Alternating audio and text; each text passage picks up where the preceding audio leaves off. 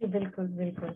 अच्छा अभी वैक्सीन पे वापस आते हैं और ये जैसे बहुत सारे राज्यों ने ग्लोबल टेंडर फ्लोट किया है वैक्सीन के तो क्या बिहार भी ऐसी कुछ प्लानिंग कर रहा है कि ग्लोबल टेंडर के लिए?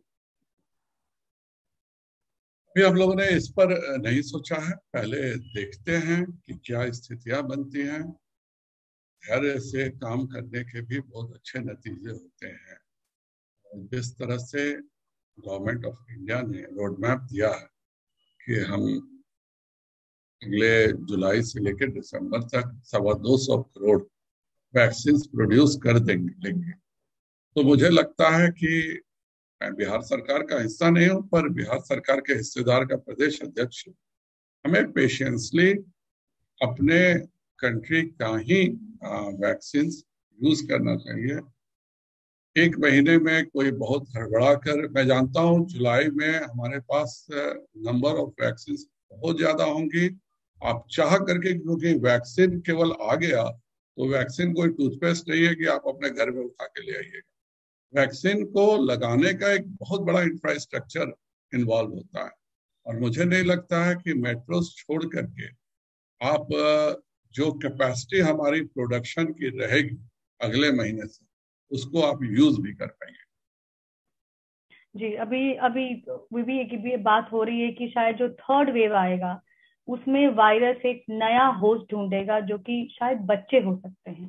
तो आ, क्या बिहार सरकार उसके लिए भी आ, प्रयास में है कि वो थर्ड वेव के लिए अगर आता है तो उसके लिए हम कुछ उपाय ढूंढें बेड बनाए। जैसे यूपी एमपी में कल देख रही थी कि उन्होंने हज़ार बेड के एक टेम्प्रेरी हॉस्पिटल बनाया है। तो क्या बिहार सरकार भी ऐसे कुछ कदम उठाने की सोच रही है? इसमें बिहार को एक अपना इनहेरेंट एडवांटेज है।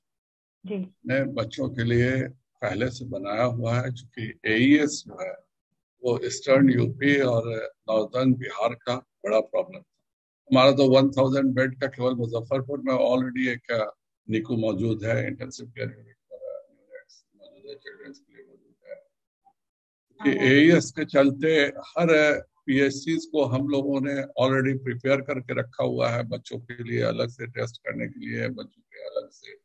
ये जो अभी सीज़न है ये एएस का सीज़न है।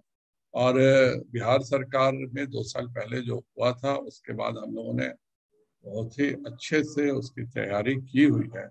और वो तैयारी अगर भविष्य में कुछ होता है तो काम आएगी।